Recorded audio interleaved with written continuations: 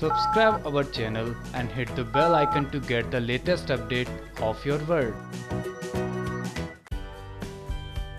Star Plus के popular show Ishqbaaz में होने जा रहा है फिर एक नफरतबाजी का आगाज़।